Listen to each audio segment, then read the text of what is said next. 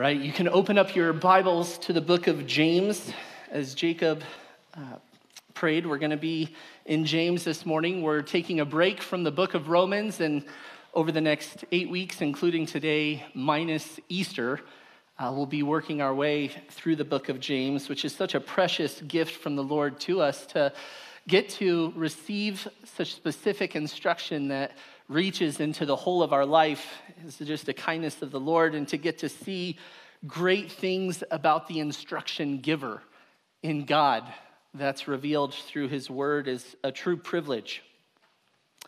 So, this morning we're going to be in James chapter 1, making our way through verses 19 through 27. And I want you to consider something. Have you ever experienced a situation like this where you are trying to give something very good to someone and they had the complete wrong disposition as you were trying to give it to them? You had a great blessing in mind, and yet it seemed that they were completely unprepared to receive it. Maybe it's something like this you're introducing your child to a new, wonderful dessert. You have a young child and you want to in, introduce them to God's gift to mankind cheesecake. and you've got it on your fork, and you're going, Here, try this. And in a moment of youthful defiance and foolishness, they don't want it. They've never had the rich treasure that cheesecake is, but they're rejecting it in their foolishness. They turn their head away, they complain about the utensil. Maybe you're getting ready with your family to go on a surprise trip, asking everyone to contribute to various tasks, only to find your request, which leads to great fun, being met with hostility and complaints. Maybe it's something as simple as, Child, go get your shoes on. That child has no idea what's awaiting them. The fun trip to Peter Piper Pizza, the extremely quick waste of money on all the machines there,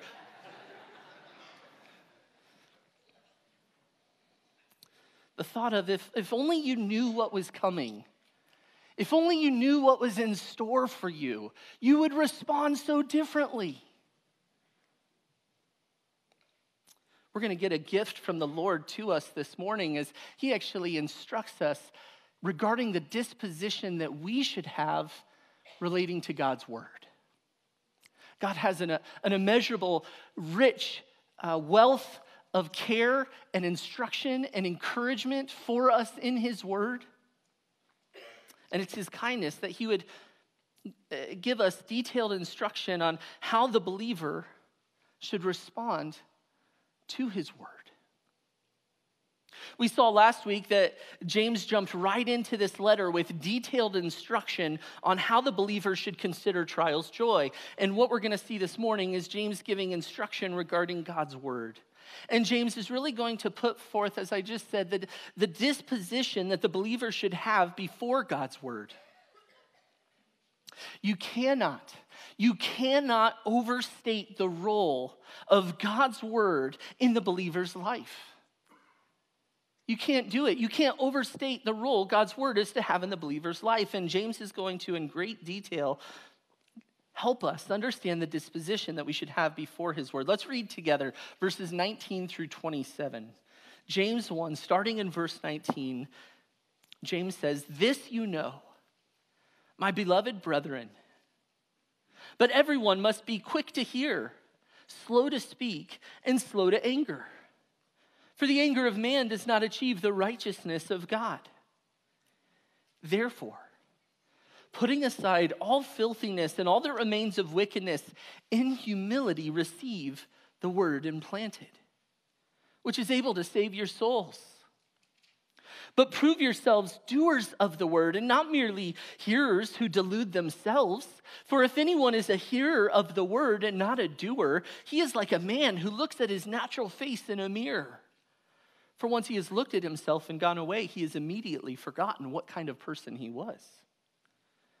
But the one who looks intently at the perfect law, the law of liberty, and abides by it, not having become a forgetful hearer, but an effectual doer, this man will be blessed in what he does. If anyone thinks himself to be religious, and yet does not bridle his tongue, but deceives his own heart, this man's religion is worthless. Pure and undefiled religion in the sight of God and Father is this to visit orphans and widows in their distress and to keep oneself unstained by the world. The believer, having been saved by God's word, must cultivate the proper disposition towards God's word. The believer, having been saved by God's word, must cultivate the proper disposition towards God's word. If you're a Christian, God used his gospel message to save you. And God is not finished with his word in your life. And it is imperative that you cultivate the right disposition before his word. In verse 19, James says, This you know He's connecting his statement in verse 18 to this next, next section that we just read. And look again back at verse 18.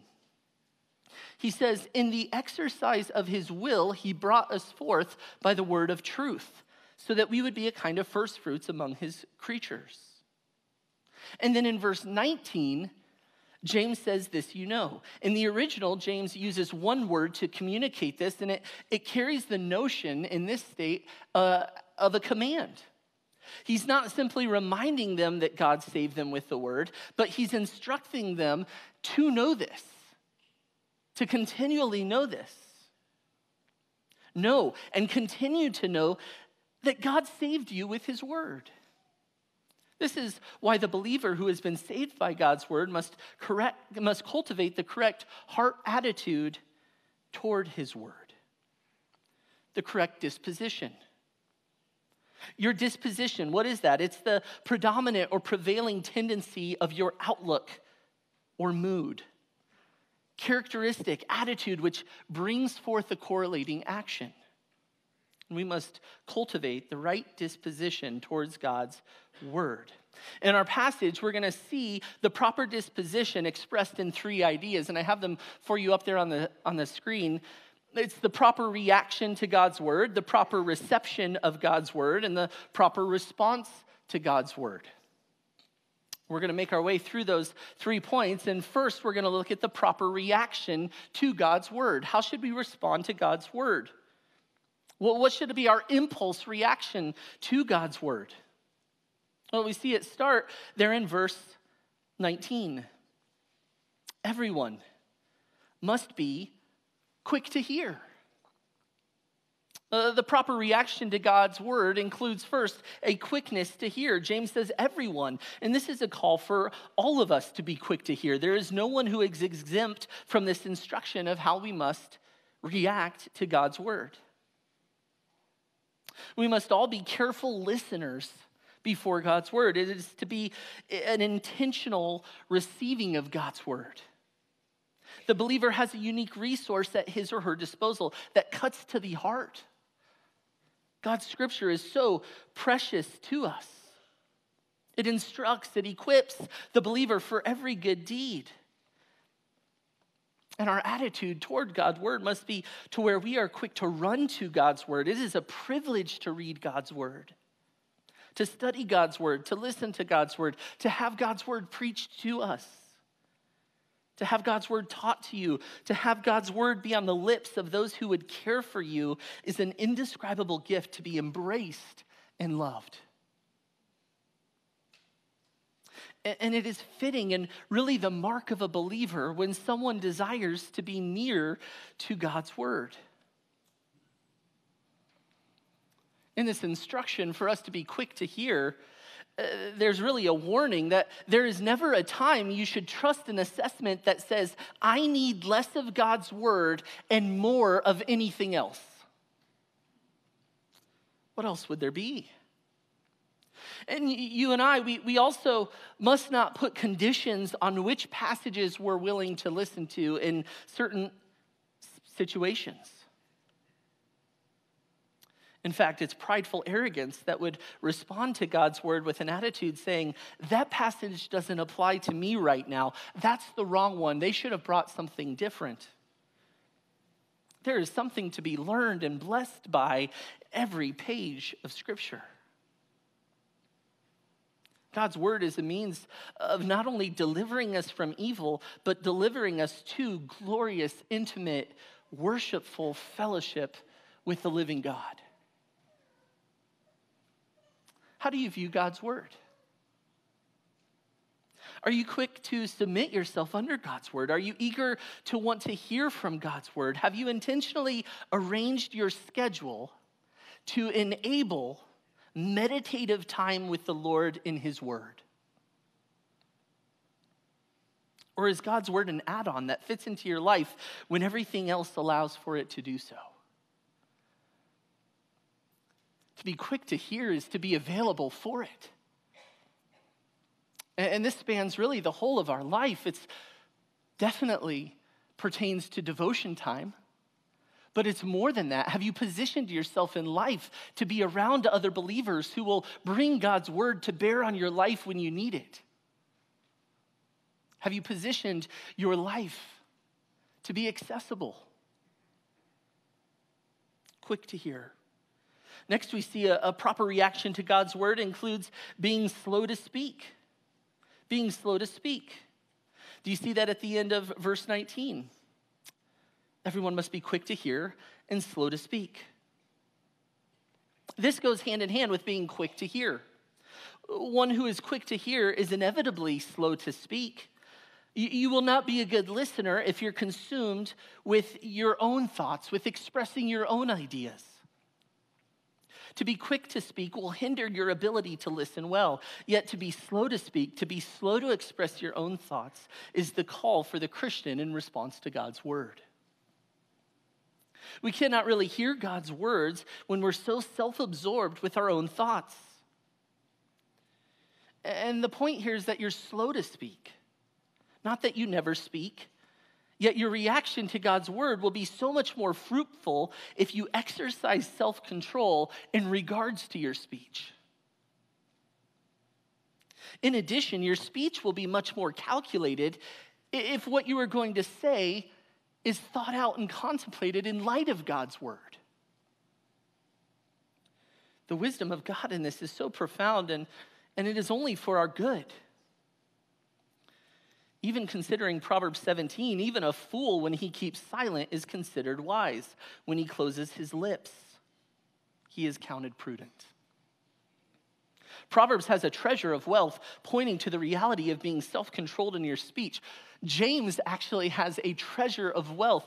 Speech is found in every chapter of the book of James. Our tongue. We're going to be talking a lot about speech in the coming weeks. Next, we see a proper reaction includes being slow to anger. As James is putting forth the proper reaction to God's word, he instructs us that we are all to be quick to hear, slow to speak, and then at the end of verse 19, slow to anger.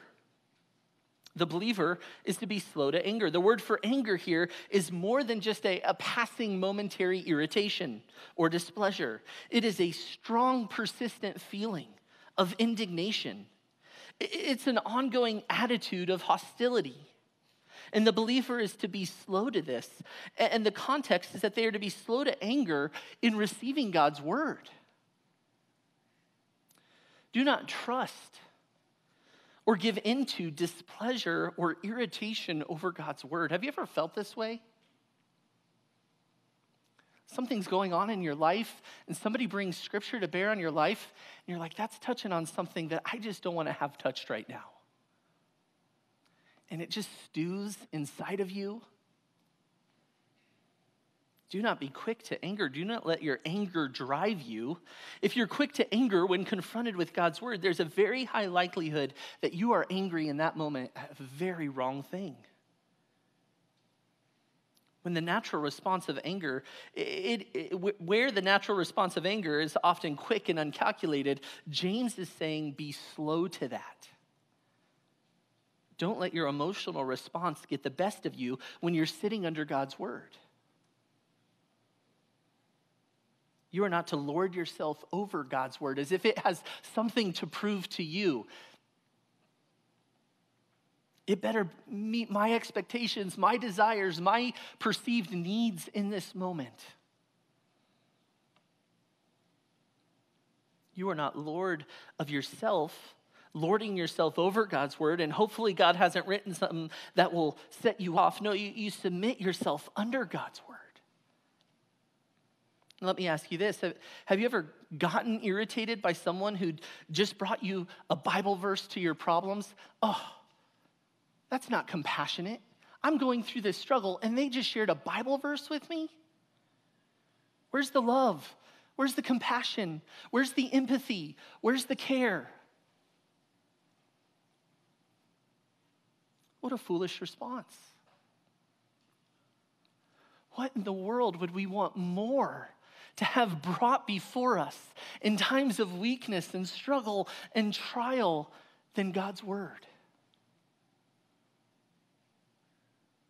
We need God's word desperately.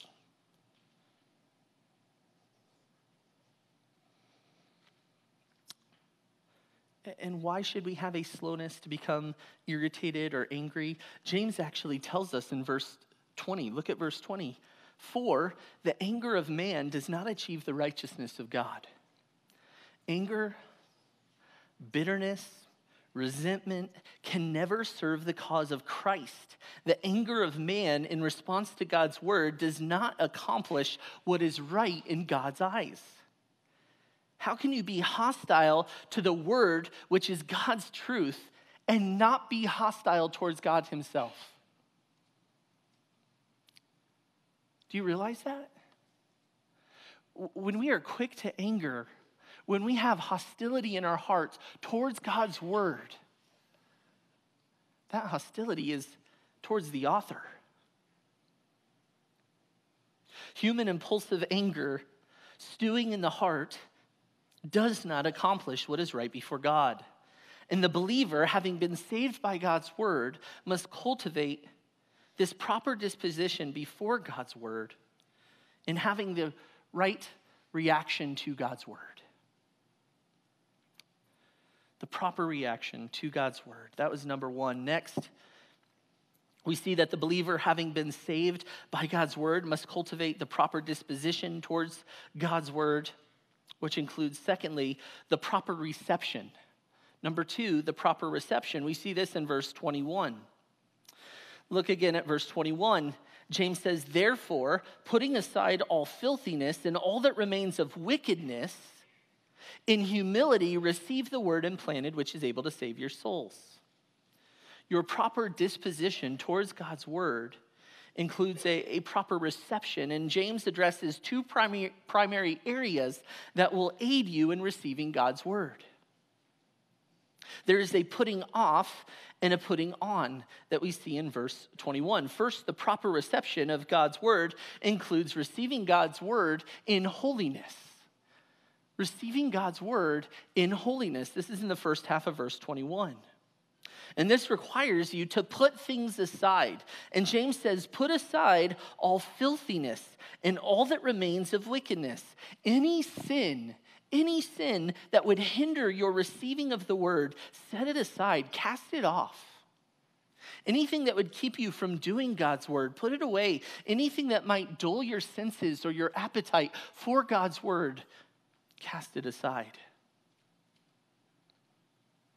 In reality, if we want to receive God's word as He desires us to do so, sin has to be dealt with. James says, put aside all filthiness. And the word for filthiness is actually closely related to the word used for earwax. That's a, an appropriate picture. Earwax collects dust and plugs up your ears so you can't hear. Moral filthiness in your life does the same thing spiritually. Your ability to discern, to understand, to hear, to see clearly is greatly hindered if sin is going unchecked in your life. if you're cultivating an appetite for sin, your ability to cultivate an appetite for God's word will be competed with, will be dulled. James also says, put aside wickedness. This is just a general term for evil corruption. This is deliberate, intentional sin. This is unchecked wickedness. This is the sin that you love and are unwilling at that point to give up. Don't think you can receive God's word as God intends for you to when you're holding on to willful evil.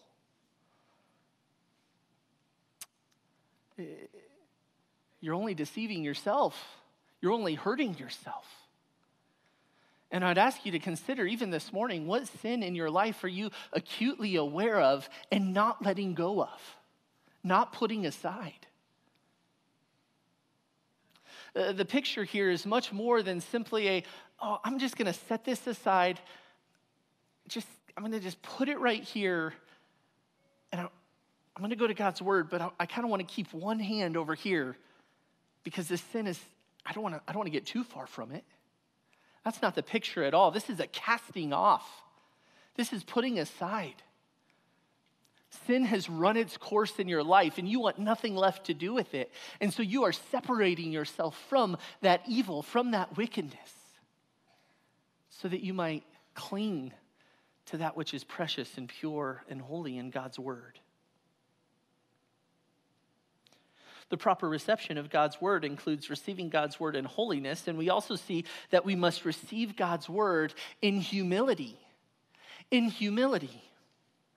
Look again at verse 21.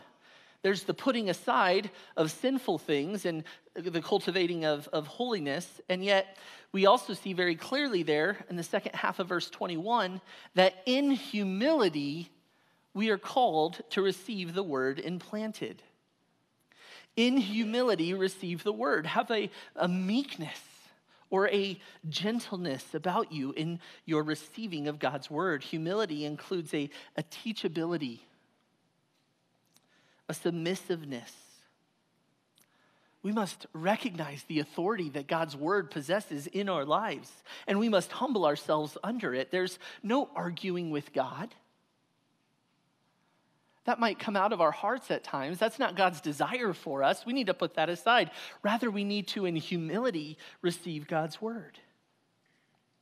There's no resisting God's instruction to us. We are to be meek. We are to be submissive. We are to joyfully embrace His word, trusting in His good intention for us, trusting in His intimate care of us with His word.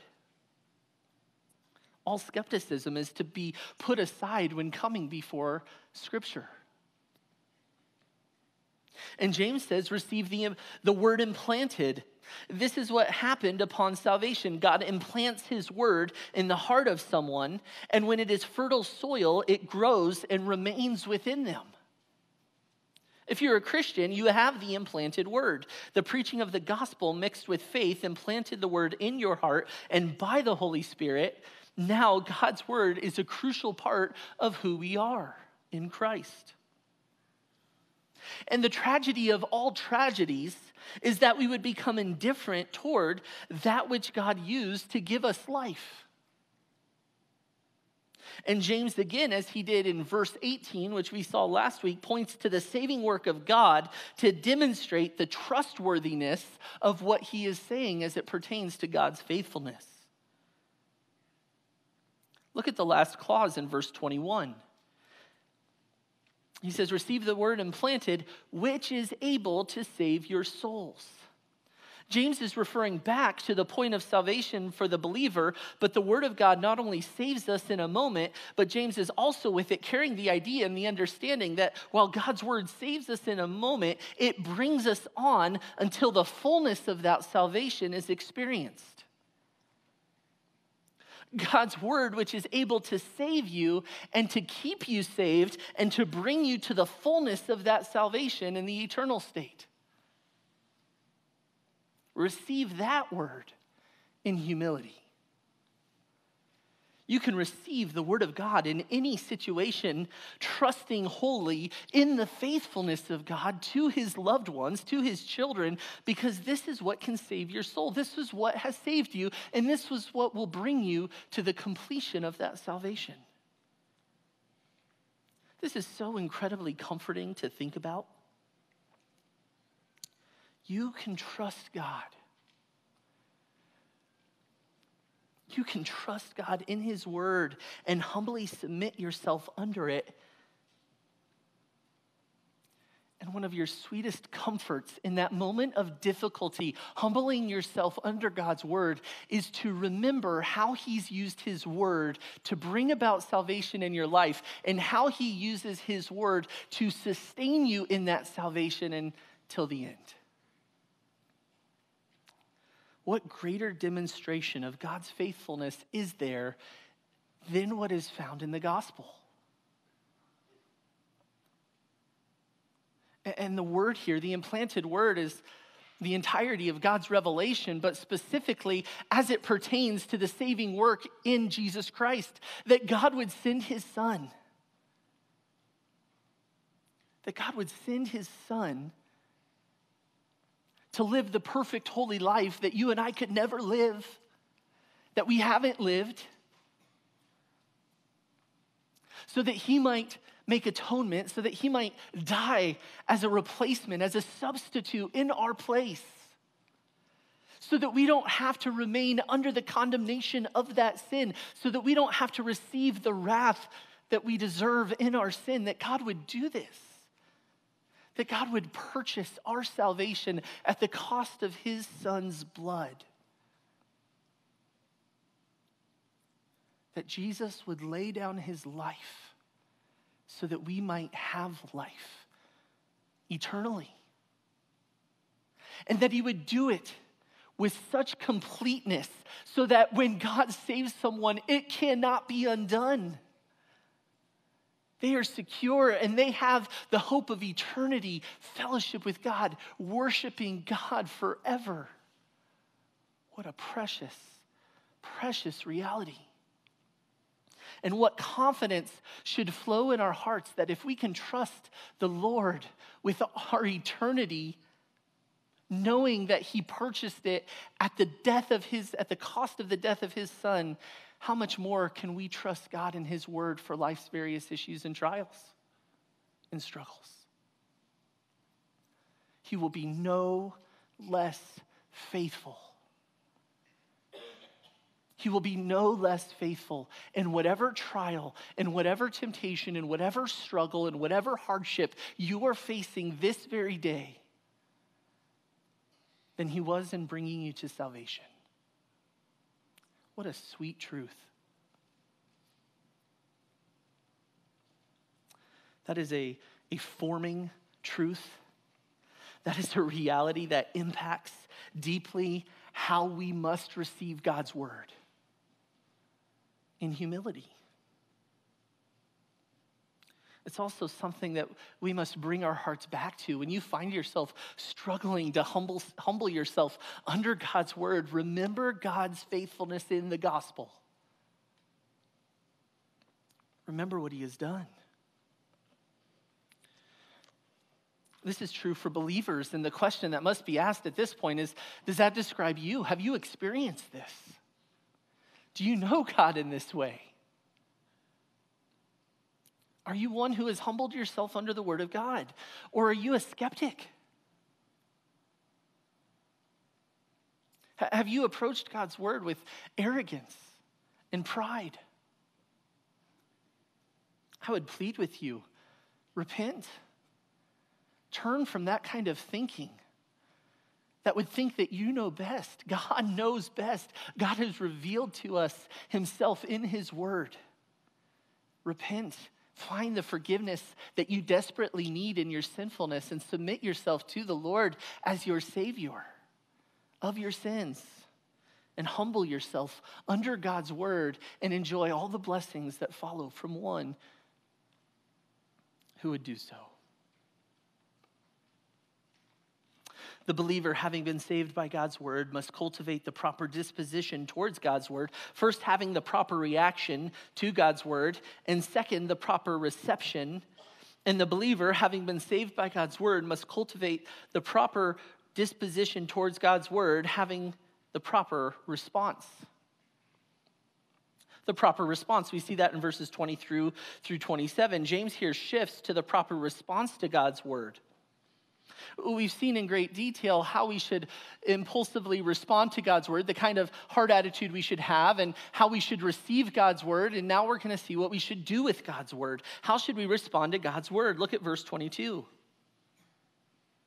But prove yourselves doers of the word.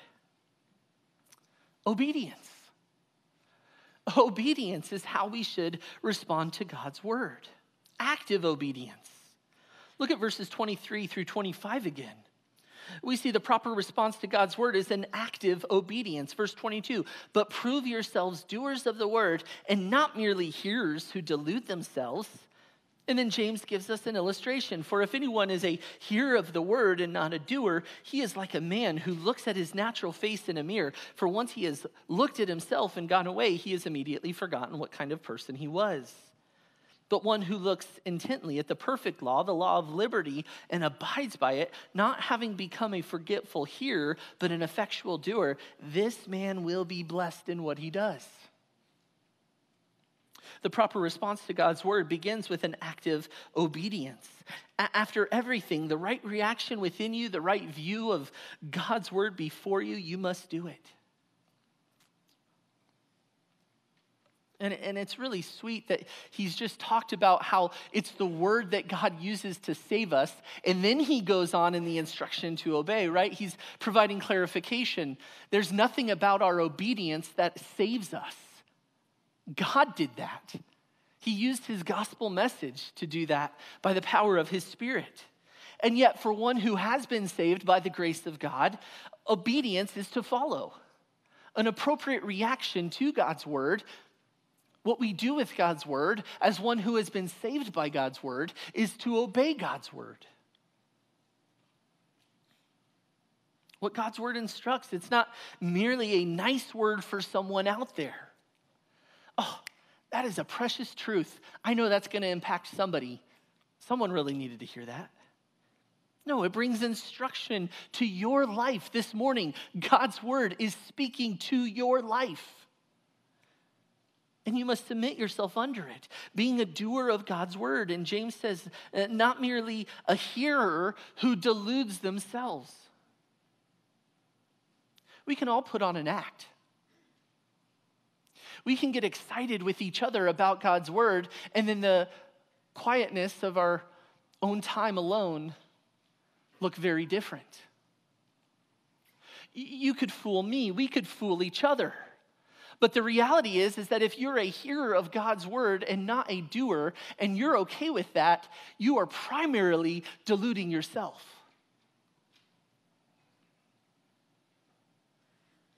to hear the word and be content to stop there, not actually doing it, is the ultimate self deception.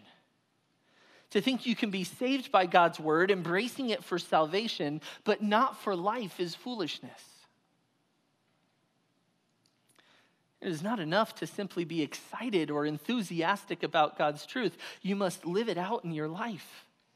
A calculated, intentional obedience must follow the hearing of God's word. Do you spend time thinking about this? After you hear the, the preaching of God's word, after devotional time, do you give thought, God, how, how can I intentionally, actively obey whatever instruction might have been found in your word this morning? Sometimes we might not see specific commands in various texts, but there's implications. God, how can I how can I think rightly about you in response to what I've read this morning?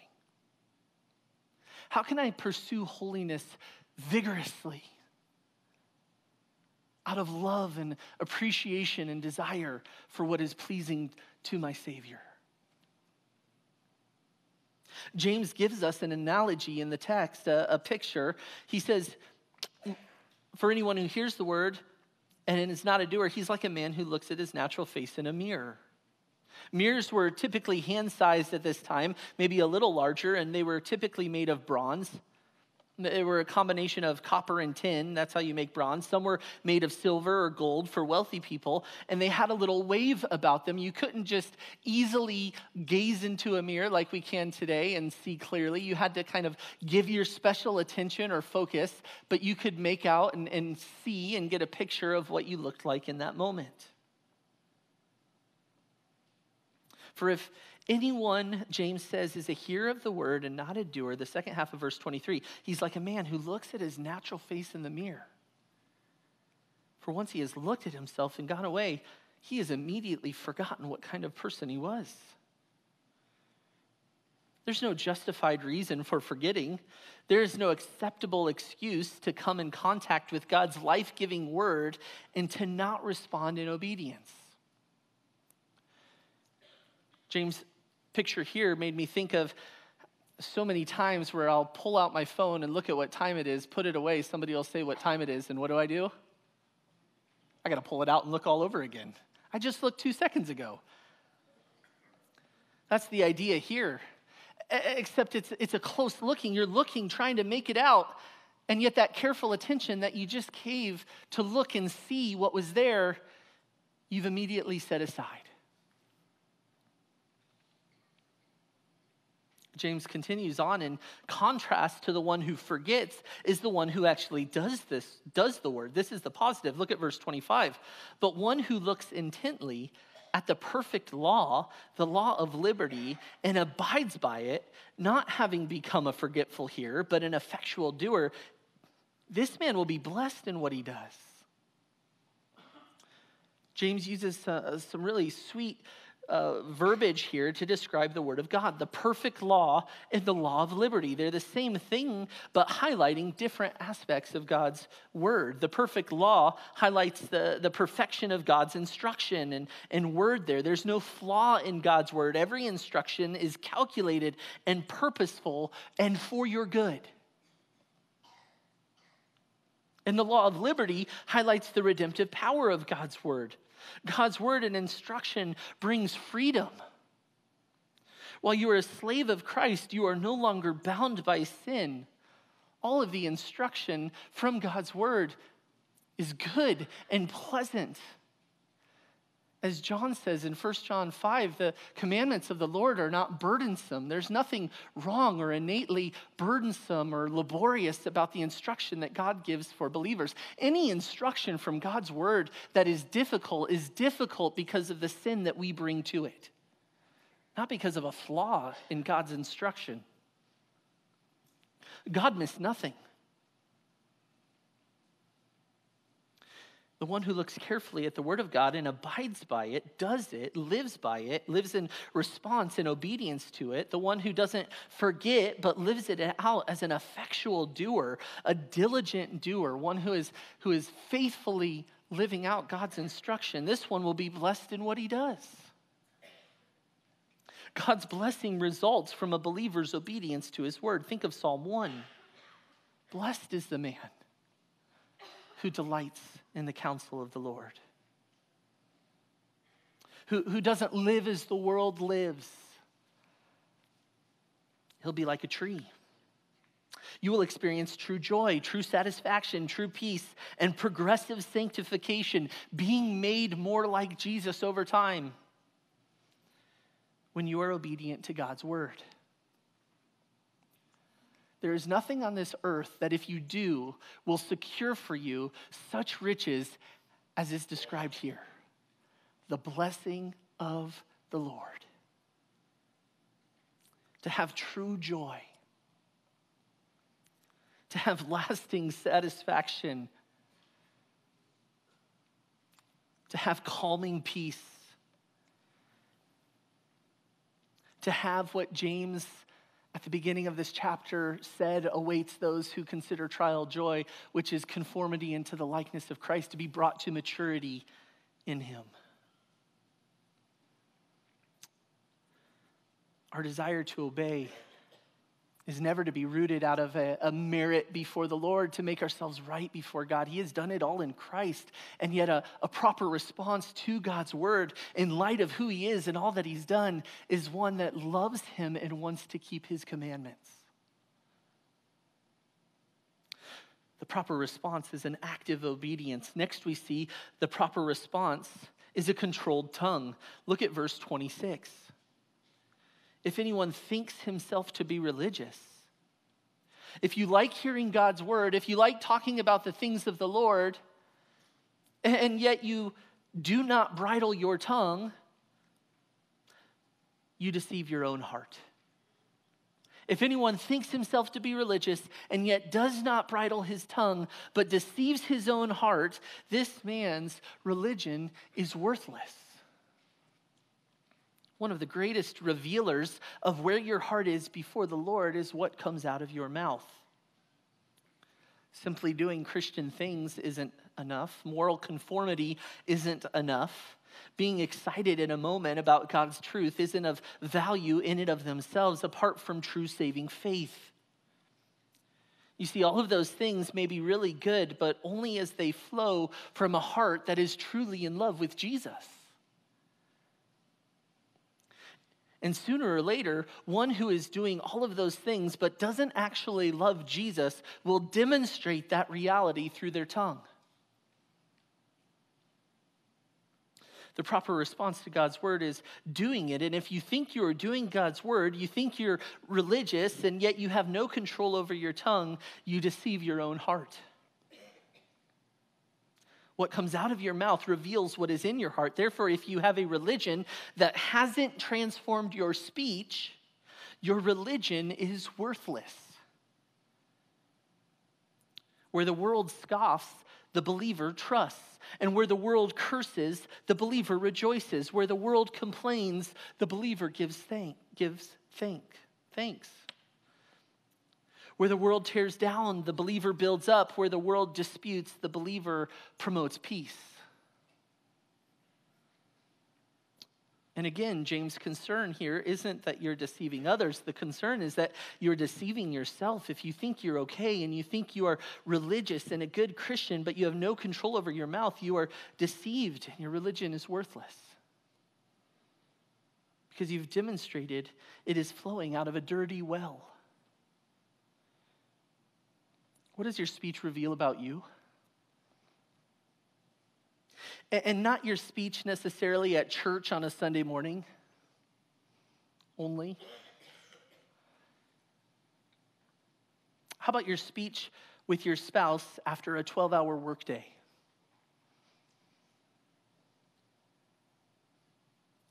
What about your speech with your spouse when the children were up all night sick?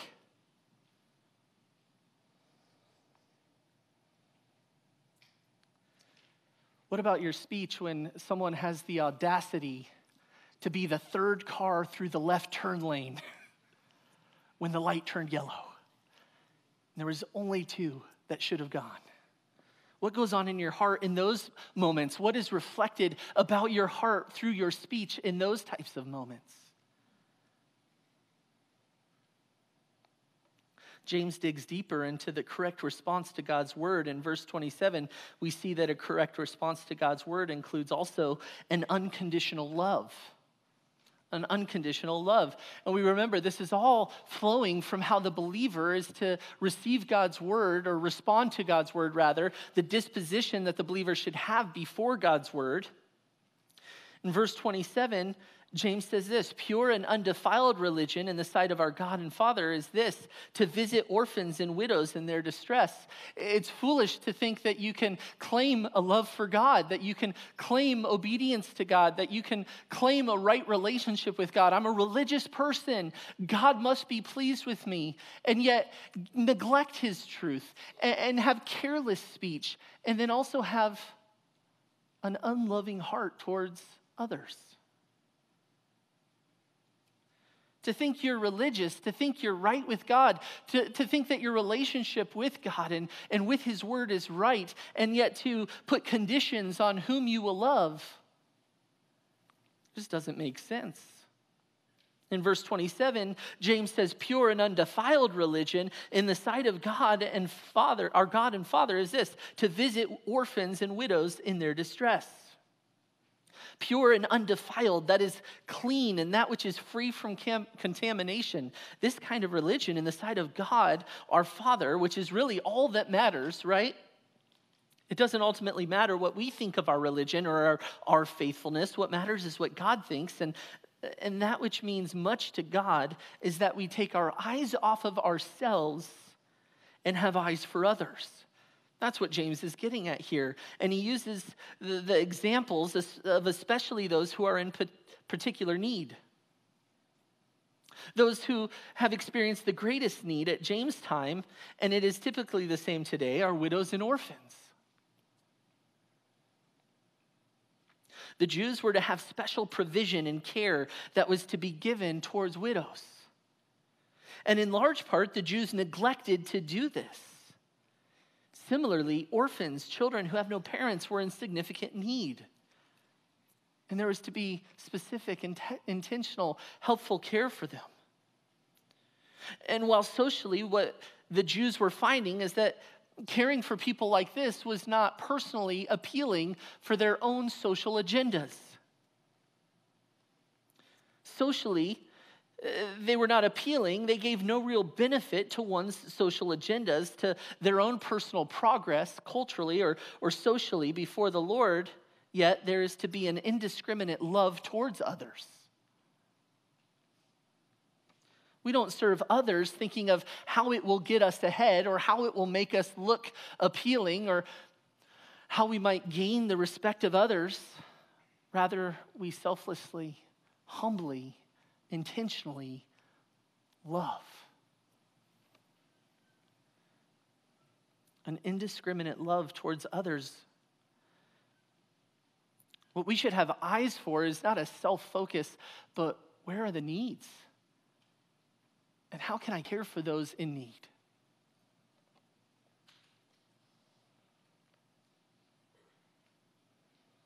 This is a call for Christ like love to be flowing from the heart of every believer. The true doer of the word is one who has an eye for the needs of others and tends to those needs at cost to themselves. James says to visit them, and eh, to visit means to attend to them or to care for them, to watch out for them. And so, for the true Christian, that one is to be characterized by having a pure, loving heart that expresses itself outwardly to those who are in need. You aren't to think about God's word simply in an individual context. Rather, a, a proper response to God's word is where you are cultivating and have an intentionality to help others. And as an elder of this church, where over the last several years we have seen husbands die, a wife die, hardship hit various people's lives, I just want to commend you. You all have shown this kind of love, this kind of readiness to extend care towards those in need. What an evidence of God's grace in your lives. Thank you. Thank you for being this kind of people, these kinds of people.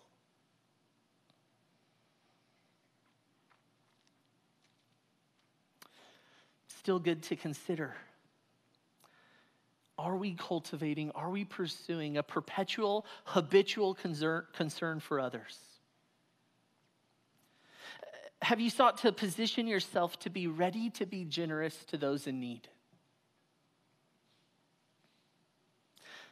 See, you aren't to think about God's word simply in an individual context. Rather, a proper response to God's word is where you're cultivating and have an intentionality to help others. What kind of obligations have you bound yourself to for your own personal sake that keeps you now from being able to serve others. It's good for us to consider these things as we make decisions about jobs, as we make decisions about expenditures, about what things we own and what things we borrow money for? Are we giving thought in those decisions to being ready to be a generous giver, to be available to care for those in need? Lastly, James, in a what seems like a passing statement, adds on that one who is responding to God's word is to have an unstained life. And while it might seem like a passing statement, it is crucial for the believer to live in such a way. Look at the second half of verse 27 to keep oneself unstained by the world. The last God honoring response to God's word includes a willingness to apply God's word to your life without moral or spiritual compromise. To be unstained by the world, that's to be holy. And when James says to keep, he's emphasizing the continual nature of separation from the world. This is an ongoing responsibility, responsibility and call for the believer to be unstained, to be unlike, to be uncorrupted by the world. It's really to not have reproach in your life that demonstrates a world likeness. Those who are God's are to be characterized by purity. This isn't that believers never sin. Every Christian falls short of the Lord's standards. But James is speaking about the, the basic orientation of our lives. What are you committed to? To whom are you committed? What is your life characterized by? Are you seeking to be as God calls you to be, or are you seeking to conform to the world? Are you allowing yourself to conform to the world? Uh, the Christian longs to speak and do only those things that are holy and pure and loving and honest and truthful and upright. And we pursue those things vigorously. The Christian is to have a love for God, and this love for God should fortify you against the enticements of this world that would bring blemishes or stains or reproach upon you.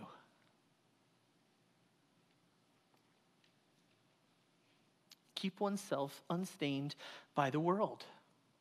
We are to be influencers, not influencees of this world. We are to live set apart lives, holy and pleasing to the Lord. And in light of all of these things, we must consider what role does God's word have in our lives?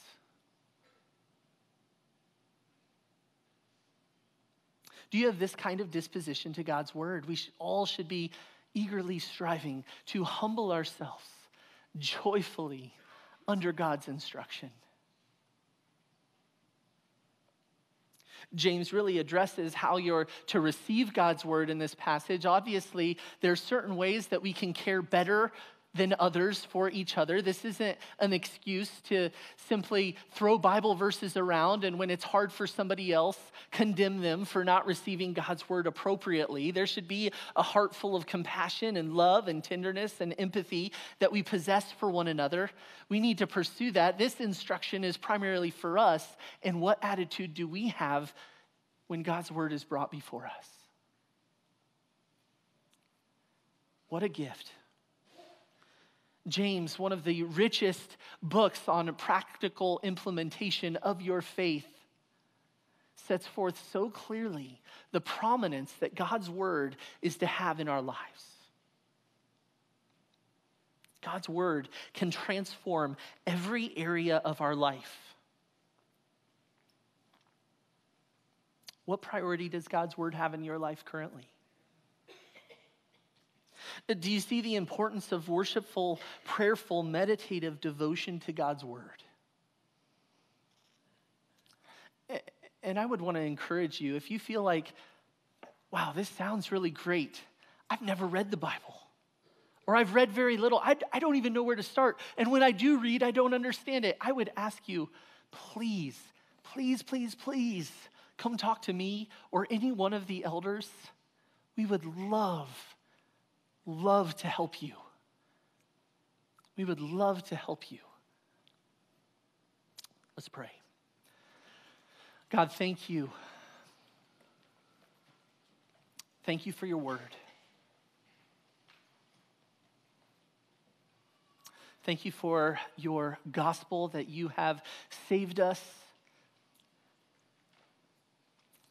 You have saved us out of our rebellion. You have saved us out of our sinful idolatry of ourselves and anything and everything but you. And Lord, you have given us life abundantly, and you have given us that which reveals you in your word.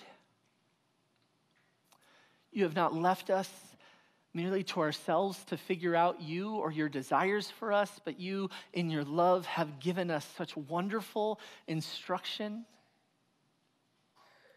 Lord, I pray that we would love your word all the more. I thank you, thank you so much for this church and how they demonstrate so faithfully a love for your word. I think this morning there are probably some who have received some sense of a rebuke from your word this morning, and yet I'm confident that there are so many who are doing this so well. And I pray that you would help them, help us to excel still more in loving your word, in never putting up any obstacles, any contingencies, any ungodly expectations of, of how we would be cared for, but Lord, that we would run to hear from you from Scripture. And that you would use your word to shape and to fashion us more into your likeness so that the light of Christ would be seen, so that you would be put on display as the great God that you are. Lord, we thank you for your grace. We thank you for your love for us. We thank you for our Bibles. And we pray all these things in Jesus' name. Amen. I invite you to stand and we'll sing together.